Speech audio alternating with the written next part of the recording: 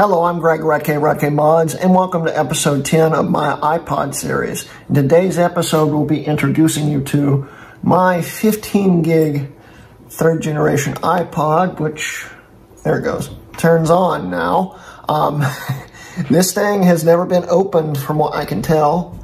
It's in pretty decent shape for what I uh, paid for. It's pretty impressive and it's fully functional. The battery still works and these had really bad batteries in them. But we're going to be doing more and then, just um, showing you this thing. We're going to be upgrading it with my iFlash Solo that I had in my iPod Classic, a 64 gig SD card, um, which we'll just put in right now. Click, it's in. And we need the adapter, which are on um, back order from um, them right now, but I found a seller on eBay that was selling the official ones, and it came in in two days. It was impressive, very impressive. But um, this is the adapter for fourth and third generation iPods. Now, this adapter, uh, the iFlash Solo, will not work in a first or second generation, even though it would fit with this adapter right here, it, it just won't work. And that's because of the, uh, what I've read, the FireWire controller in those systems, and they just don't work with larger drives, especially flash-based larger drives. So um, that's one thing. Then the other thing about these is uh, I've been reading online about this for years now because I've I've had this is my third third gen I've got a uh, 240 gigs, one sitting next door and one sitting at uh, Colin Mister's because it won't sync anymore and he was going to try to fix it. Um, and I was considering upgrading one of those to a 60 gig hard drive, at least a 60 gig hard drive. Um, and back in the day I read it was possible, but um, the guy never really shared how he did it because these things only work up to 40 gigs, uh, the hardware with uh, Mac formatting anyway. Uh, apparently, these will work with bigger drives and flash drives. And iFlash says that this thing will work in a third gen, gen but it will not actually, uh, they actually don't do any info about it. Uh, and it's really something that I don't think they officially support, but they say it will work where the fourth gen they do support and they do have information on how that works. But uh, this thing, the problem is it, it just does not recognize the drive when it's bigger, um, when it's formatted differently and whatnot, and that becomes an issue. But there is two workarounds I've found um, that combined should fix it. Uh, the first uh, part of it is uh, it needs to be Windows formatted. Um, otherwise, it just won't work. And uh, this is Windows formatted already, uh, but I'll be using a Mac to do this, so I've already imaged the disk, and um, you'll see how I did that in a second. Um, but it's got to be Windows formatted, and you can only sync it over USB. The FireWire controller apparently has the same issue as the first and second generation. It just will not sync over FireWire. So luckily, these this is the one thing I've always hated about these iPods because this is my favorite iPod. Uh, it's so cool and it's all touch control, which is also really neat. Okay, all this, there's no physical buttons, it's all touch. It's the first iPod Touch. And the only moving part on it is the hold switch on the top of it. But the problem is with these things is they will only charge over FireWire, but this was also the first device that supported USB syncing. So you have to have a special wire to charge and sync at the same time if you want to use USB. Luckily, I have that wire right here. I have two or three of them. Um, and this is my newest one, which I opened up in, I think, episode six uh, this cable right here. So we'll have this plugged in the wall when we're syncing it. And uh, that's, that's the only big issue with these things. Firewire sync, uh, charging only.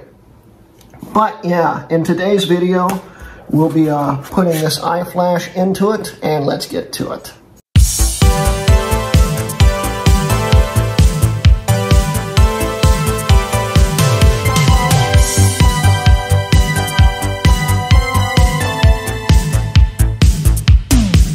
So before we do the upgrade here, I just want to show you really quick. That's what it looks like, 15 gig, third gen. It's all ready to uh, be swapped, so we'll see what we can do here. All right, so I'm currently imaging the drive with my uncle's new MacBook Pro that I built recently. It's currently imaging the drive that's in this, and then I'm going to put it into this SD card and see if it will allow me to auto boot and see if it will actually work. So we'll see what happens. Okay, yeah, so the disk utility didn't work, so we're going to use Carbon Copy Cloner. Disk utility just froze, so we'll see if this works this time. Six seconds to copy 11 files, which should be all the files and the file structure, in theory, that the SD card needs. So I'm going to restore it to the SD card, plug that in, and see if it pops up. Okay, there's the SD card. And what we're going to do is choose the source right here. Let's um, hit that and restore from disk image, sparse bundle,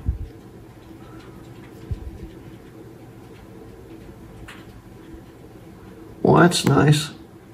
Yeah, this might be harder than I thought. Okay, I just had to um, change the uh, source by restarting everything and not let me do it. So let's select the destination and hit clone.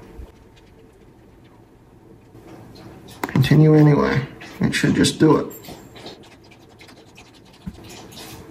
There we go we should have the SD card all set up for um, the iPod. So let's hope that worked.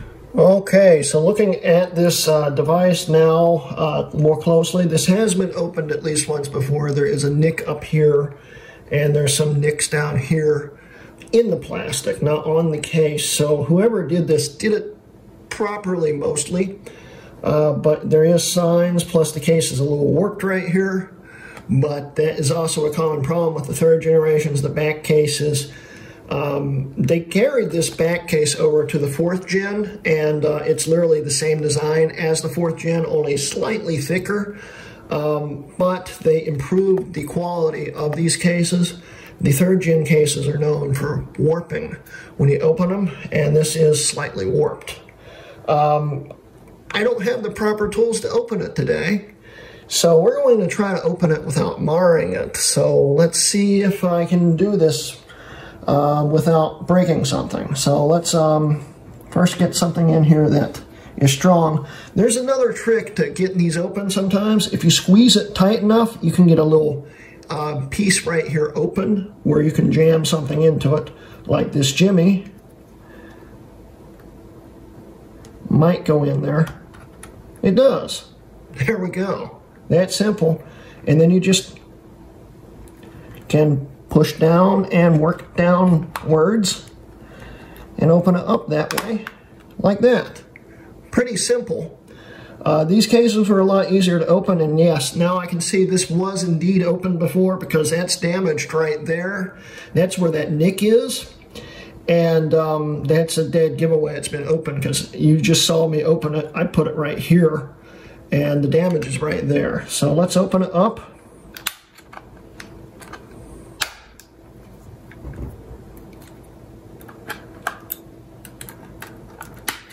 This is a lot easier to open than the uh, Classic for sure. All right, there we go. We're inside. Disconnect the headphone jack. Maybe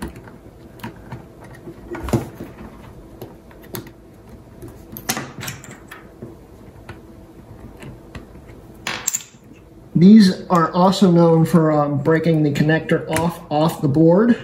So you gotta be really careful with these. I broke the headphone jack. Well, that's the end of the day's video. Like I said, these are very fragile. And now I'm extremely mad. Crap. Um, well, let's finish doing the video. It got actually really stuck in there. There went the connector. Where'd it go, Starla? Anyway, uh, I don't have a replacement one of those. Yeah, it sucks. I tried to be careful with that. Oh well. Anyway, let's see what they've done to this first. Yes, it's got a brand new battery in it, as we can see right there. It is not the original battery. So, um, pull the hard drive out, and, um, well, that sucks. I'll have to look for a new one of those. He did also did not put the battery in properly, and it's not even glued down, but it does seem to be a high quality battery, so that's a, a win at least. But, um, yeah. Well, that sucks. Well, and the nice thing is it will still play music through the dock connector until I can get a new headphone jack. Uh, oh well. It's not a huge deal. So I'm going to now put this into there. Uh, and uh, one second while I um, configure a few things here. I'll be right back. So $18 later, I have a new headphone jack coming in the mail from Kentucky. Um, found the piece that ripped off. It took all the pads off the ribbon cable with it. Like I said, these are notorious for breaking. And I didn't think it was going to break, but it broke. Oh well. So, I did realize I do have one problem. Actually, come to think of it, I don't. I forgot. The headphone, the uh, hold switch isn't on this. Um, like it is on the fourth gen, it's actually on the board, so we can we'll still be fine. Uh, so we're just not going to put the back plate back on when we rebuild it. So let's um, put the uh, adapter in. So first, I'd say let's reuse the pad and stuff on this, like so. And this is the original hard drive. It's a MK154 GAL, 20 gig Toshiba drive. So that's cool. What we need to do is take this, and I've already looked it up to see if I'm putting this in right, and I should be putting this in right, so let's hope I'm putting it in right. Plug that into that, like so. Make sure all the pins are actually plugged in right. It looks like it. And then we literally just take this, flip the tab up, and hook it in.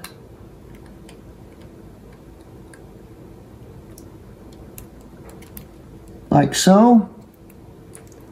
Lock it down there. And there we go. Then we take this, plug the ribbon cable back in,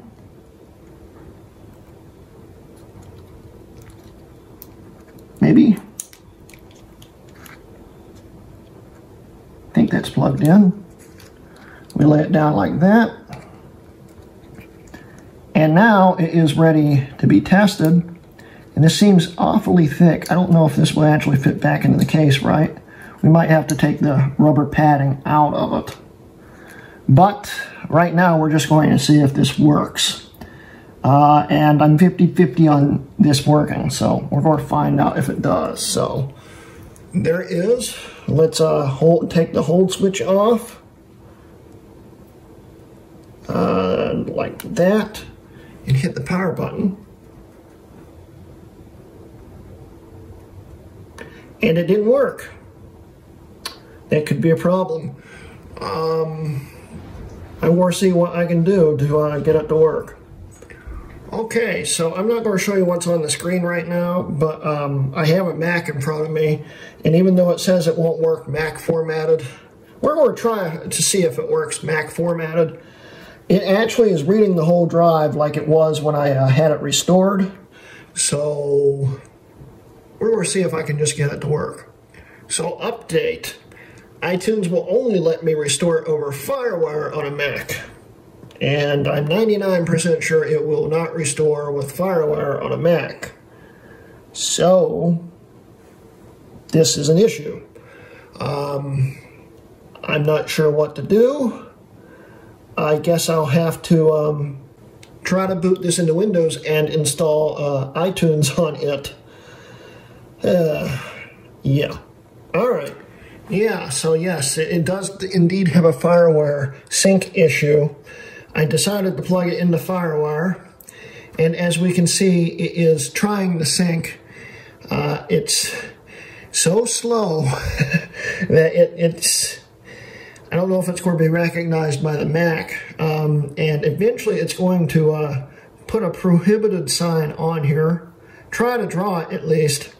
Um, it just it's it's so slow as we can see that I understand why you have to sync this over USB because the FireWire controller just does not work. But I'm going to see if it sees it on the computer, but I highly doubt it will. Uh, we're definitely going to have to go to um, Windows, it looks like. So I'm trying a different trick here. I'm going to restore it to Mac first with the original hard drive and then clone that and try to stick it on here and see if it works. So we'll see if that works because iTunes did identify as a 64 gig iPod, um, but uh, it still wouldn't boot because it needs restored properly. So let's see what happens. Okay, so disk utility still didn't let me clone it, but Carbon Copy Cloner is actually cloning the entire drive properly this time, it looks like, and it finished in 52 seconds. Uh, and it looks like it actually imaged the whole drive properly. So we're going to see if it will go onto the flash now and if it will boot afterwards. Okay, so Carbon Copy Cloner has copied the whole drive back over to the SD card. Let's flip it around and let's restart it from disk mode. See if it boots this time.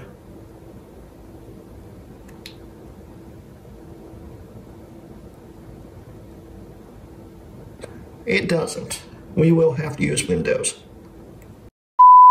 Okay, so I got iTunes installed on Windows, and uh, we're getting ready to restore it and see what happens. So I'm going to hit restore right here, restore and update, next, agree. Let's see what happens.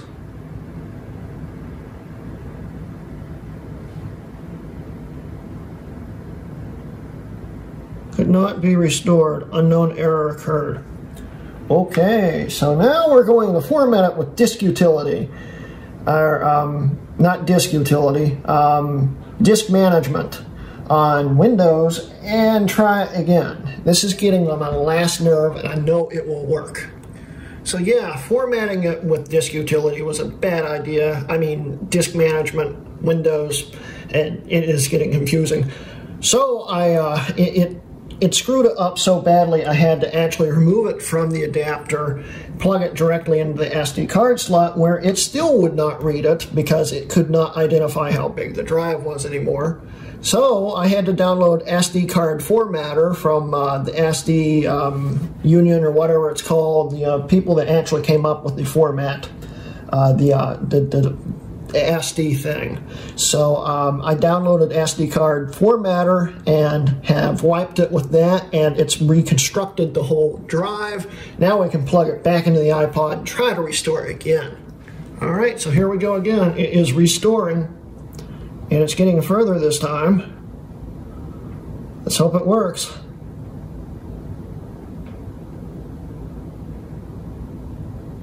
Hey, it just finished now we can restart it. Hope this thing works. We're going to probably have to plug it into FireWire, which we'll see if it needs it or not. Yes, it needs it plugged in. So we can just literally plug it into this FireWire port on the Mac and it should work. Like so. Hey, it's restoring. Yeah, you literally have to do it with Windows formatting. That's so stupid.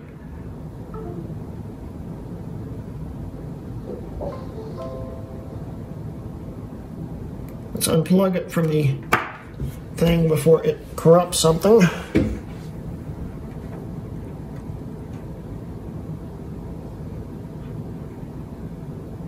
Just trying to do it. English settings about. There we go. We have it, guys. It is indeed working. Let's uh, hold in, I think it's menu. Yeah. There we go. It is a flash iPod. Now, I want to actually go to a 128, but this was the biggest um, one I had. I think this will go up to a max of 128. I'm not totally sure. Um, I know the iPod mini can go up to 256, but uh, it starts struggling at like, I think it's 90 gigs on an iPod mini. And this is similar in hardware, but it is working. We made a flash third generation iPod that actually works and um, we just had to use Windows and USB because it would not do it any other way. But I am very happy with this result here. It's going to work, and uh, I'll do an update video on this once I get the new card in and uh, the new headphone jack, which I destroyed. So I'm just not going to put the back plate on for now. Um, and sorry, I, I, bashed that with the uh, bill of my cap there. But yeah, it's working. And let's see here, let's do the backlight again. Menu. It's a set backlight so it stays on. Backlight timer. 10 seconds. There we go. It's working. And I'm really excited to use this. Uh, I will have to, uh, of course, fix all that stuff first I'm going to get a better SD card for it. But this is a proof of concept. It worked. I made a 64 gig third generation iPod in a 15 gig case, which I think it will fit totally fine in. And this is literally like half the thickness of a uh, 40 gig. So this should be nice if it all fits. And I think it will. Let's see. Old hard drive would have sat right here. We might have to take the pads off, but it should fit. So it's awesome. So that's the end of today's video, guys. I hope you enjoyed watching me uh, about snap and break this thing in half. Um, actually, you probably didn't see that because I don't think I filmed that part. I was getting pretty darn mad. But it's working. You have to format it in Windows. It has to be in FAT32 uh, format for it to work. And um, the reason why you can't have it in Mac format is because to restore it, you have to have FireWire, and the FireWire controller does not work with this. So you have to use USB. It's kind of a problem, but once it's formatted in Windows, this will sync to a Mac. Um, so I don't, I don't know why Mac still, um, if a Mac formatted iPod will still do it in HFS, um, but a Windows format is FAT32 and it syncs with FAT32. So I don't know why they did that, but hey, it works. And we will do a follow-up video on this very soon uh, where we actually finish putting it together and I show you some neat things about it. But for now, that's the end of today's video. Thank you for watching. Don't forget, guys, that I um, do have a Patreon if you'd like to support me and see these videos a day early, uh, sometimes even earlier than that. Uh, just check out the description below or uh, at the end of the video, there'll be a link. And uh, help support me. It helps me buy stuff like iFlashes and all these adapters and all this other stuff to uh, make fun videos like this. And uh, Thank you once again, guys, for watching. This has been a Hrutkay Mods video. So, a little bonus material here, guys. I forgot to actually show you what it actually looks like when it's actually plugged into iTunes um, on a Mac. So let's hit continue. And there we go. It's uh, 64 gigs. It's all set up. It's got my uncle's name on it because, yeah, or have to fix that.